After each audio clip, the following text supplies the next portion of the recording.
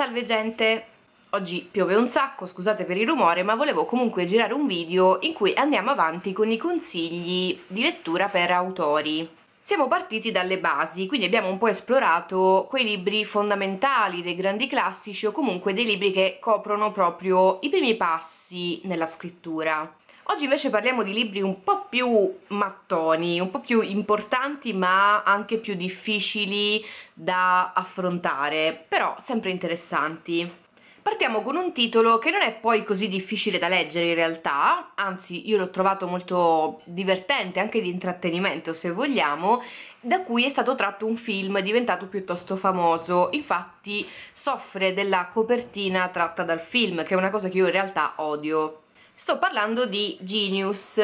Questo libro è in realtà una memoria dell'editor Perkins, diventato molto famoso, forse più col film, ma lo era anche prima. Perkins ha lavorato su opere molto importanti della letteratura e Forse è stato il primo editor a diventare piuttosto conosciuto e quindi a ridefinire quello che vuol dire lavorare sui testi. È un libro bello cicciotto, però è molto interessante. Anche se avete già visto il film, vi consiglio di leggerlo per comprendere meglio chi è l'editor e cosa fa. Ora, non è un manuale chiaro, cioè non parla in generale dell'editing, non vi spiega come si fa l'editing o cosa accadrà al vostro povero dattilo scritto inedito, però parlare di Perkins è sempre interessante, è un pezzo di storia della, dei redattori di tutto il mondo e quindi insomma se siete autori o anche se volete fare gli editor questo è un must.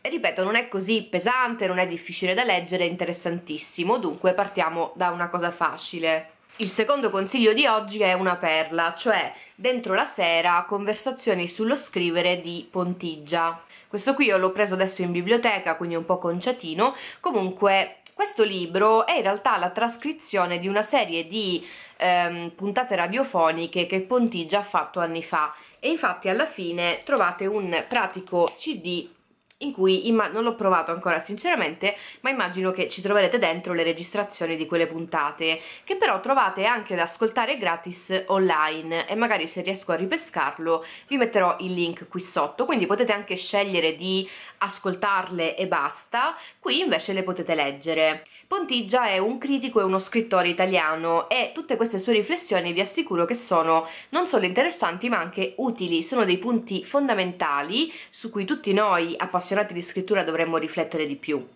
Io prima di leggere questo avevo ascoltato appunto le puntate che mi sono state segnalate un po' di tempo fa dalla grande Silvia Pillin che mi dà sempre consigli utilissimi però magari averli anche sotto forma di libro può essere utile per consultare, per insomma riprendere dei concetti. Io vi consiglio di averlo, o almeno di leggerlo, di prenderlo in biblioteca come ho fatto io. Se però volete risparmiare o se vi va bene anche ascoltare, vi rimando al link in descrizione. Cosa ci trovate qui dentro? Ecco, come al solito questo non è per niente un manuale, in realtà ci trovate un po' di tutto, parla anche per esempio di stile, mi è piaciuto tantissimo, eh, anzi è più di uno il capitolo, ma anche i capitoli dedicati alla retorica, per esempio, tutti i concetti che magari già conosciamo, abbiamo presenti, ma che magari non abbiamo mai approfondito abbastanza e se vogliamo lavorare con la scrittura dovremmo, quindi Pontigia è adorabile, è un grande maestro da seguire, insomma, quindi questa è una lettura da fare. Nemmeno questa l'ho trovata particolarmente pesante, quindi niente paura, non vi addormenterete sulle pagine, anzi se vi piace la scrittura vi appassionerete probabilmente. Altro consiglio e altro libro che ho adesso dalla biblioteca, anche questo un po' conciatino, è Critica e critici di Segre. Questo libro secondo me è un'ottima introduzione alla critica letteraria, anche per chi non ne sa un tubo di niente. Se volete essere autori o ancor più se volete lavorare in generale in editoria, ecco, qualcosa di critica letteraria è importante che voi la, la sappiate, la conosciate, quindi almeno questo dovreste proprio leggerlo. Si tratta di una rassegna di, dei pensieri di tanti critici importanti, che quindi dovremmo conoscere, e poi è bello perché c'è anche una seconda parte di riflessioni generali di Segre e poi una terza con delle analisi di testi, quindi ci dà proprio una visione d'insieme su cosa voglia dire fare critica, su cos'è, chi sono i critici più importanti, insomma da leggere. Come già vi dicevo l'altra volta, tutti i libri di questa collana della piccola biblioteca in Audi, ce ne sono tantissimi anche su altri argomenti, però quelli verdi, così con queste sfumature, sono tutti di letteratura, editoria, critica letteraria, dovreste leggerli e averli tutti, però appunto questo potrebbe essere quello con cui partire se siete a digiuno di critica, anche se ne sapete qualcosa non fa male, ecco, però ve lo consiglio come inizio.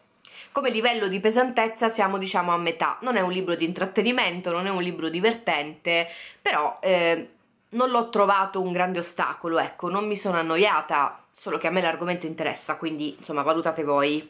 Nella stessa collana è invece un must questo qui, cioè Storia dell'editoria letteraria in Italia, che arriva fino al 2003 ed è di Ferretti. Ferretti, tra chi è appassionato di editoria, è un nome noto quindi se per voi non lo è rimediate subito. Questo è bello importante. E ecco nemmeno questo è divertente non è un saggio diciamo che argomenta più di tanto. Si parla di storia dell'editoria appunto questo testo viene spesso incluso nei programmi di percorsi anche universitari sull'editoria, quindi se non avete frequentato master, scuole e con dei programmi insomma mh, strutturati, rimediate leggendolo. Studiare da qui è importante perché comunque anche se non vogliamo inserirci nello specifico nell'editoria tradizionale, pure se vogliamo autopubblicare, comunque capire come ha funzionato nel passato, come si è evoluta l'editoria, come siamo arrivati dove ci troviamo ora, è importante. Di manuali sulla storia dell'editoria ne esistono tantissimi, io vi consiglio questo perché l'ho trovato ben scritto, chiaro, insomma, però. Ora passiamo a un pezzo grosso. Mi sono domandata se consigliarvelo veramente perché questa non è una lettura semplice, senza dubbio. A me ha appassionato molto, quindi cioè, ve lo consiglio, insomma, a me è piaciuto tantissimo però io sono pazza, quindi non dimentichiamocelo, ecco, mh, mm, valutate bene se considerarlo o no. Sto parlando di che cos'è la letteratura di Sartre. Questo è un libro del saggiatore, il saggiatore è adorabile come casa editrice, mi sembra un'edizione vecchiotta, vediamo a che anno risaliva quando l'ho comprato. Ecco, questo è del 2009, spero che ci sia ancora in giro, insomma, però ci sarà in qualche modo, leggetelo. Come dicevo questa non è una lettura lieve, anzi è abbastanza complessa, eh, stiamo parlando di Sartre, quindi insomma, poi scusate per come lo pronuncio, immagino che sarà sbagliato ma vogliatemi bene lo stesso.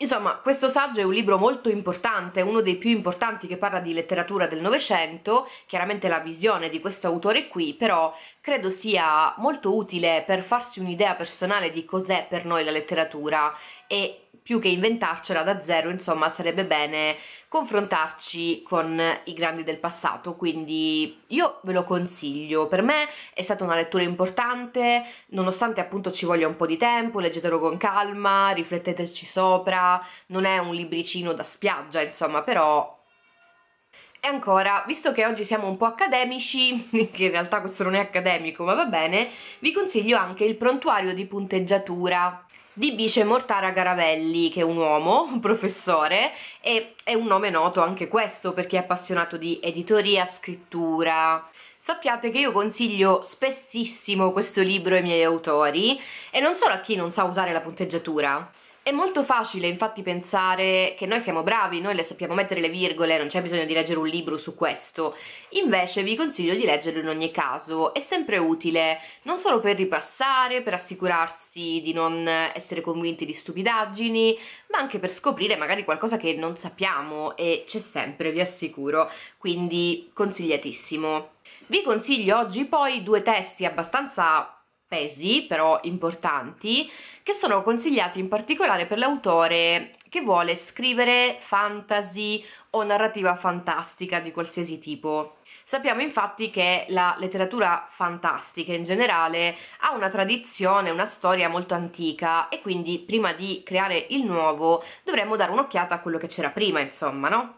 Dunque, il primo che vi consiglio è La fiaba nella tradizione popolare, sempre del saggiatore, è un bel mattoncino questo, però l'edizione è molto carina e nonostante sia scritto un po' piccolo, ecco qua piccola critica perché il font è molto molto piccolo e questo fa un po' faticare, però essendo un bel mattoncino in effetti scrivendolo più grande veniva il doppio, insomma abbiamo pietà del saggiatore, però Eh, per me questa è stata una lettura molto interessante nonostante io non scriva fantasy e quindi ve lo consiglio in generale, qualsiasi cosa voi scriviate perché comunque sempre di fantasia si tratta, però in maniera particolare se siete amanti del fantastico.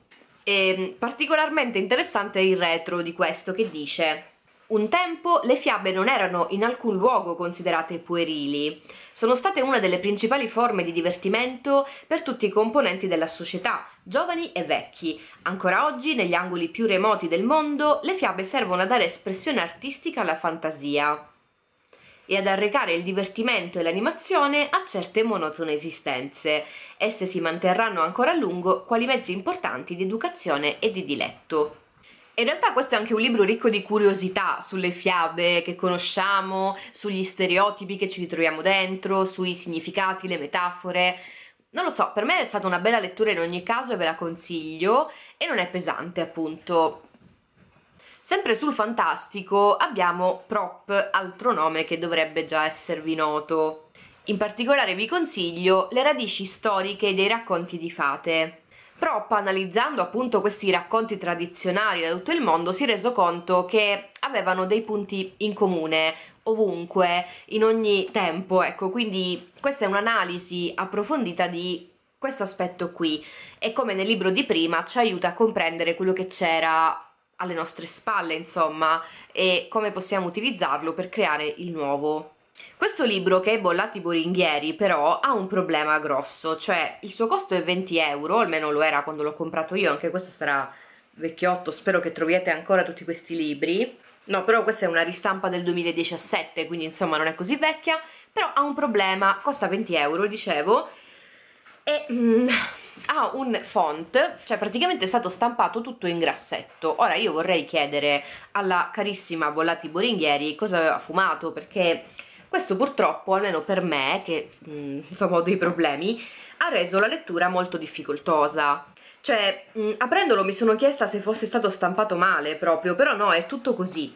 E ho perso la vista, insomma, cioè magari dovrebbe facilitare, ma a me ha dato fastidio, non lo so, ditemi voi come vi trovate se lo leggete, però se riuscite ad andare oltre questo piccolo problema magari lo potete trovare in ebook oppure in inglese, un'altra edizione, non lo so, ecco, però il libro in sé è molto interessante, quindi se riusciamo a vedere qualcosa potremo goderne.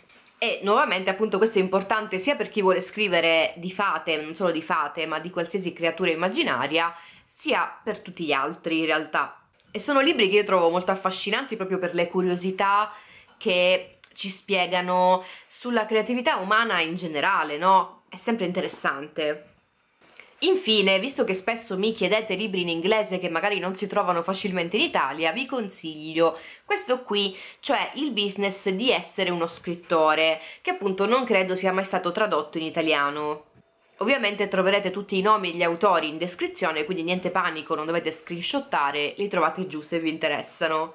Allora, questo libro è sicuramente molto meno accademico degli altri di oggi, molto meno pesante e molto... Eh, così divulgativo, molto semplice in realtà, non dice niente di sconvolgente, quindi non vi aspettate di ricevere delle istruzioni mai sentite prima, però credo sia il libro migliore che abbia mai letto sull'argomento, perché con semplicità, con molta onestà, parla proprio dell'altro lato della scrittura, cioè quella che riguarda appunto il business, i soldi, il guadagno, il mettersi in gioco, eccetera, eccetera, anche la promozione. Non ce ne sono molti che affrontano solo questo aspetto qui in giro e questo, ripeto, è il migliore che ho trovato, quindi se vi interessa l'argomento vi consiglio questo qui.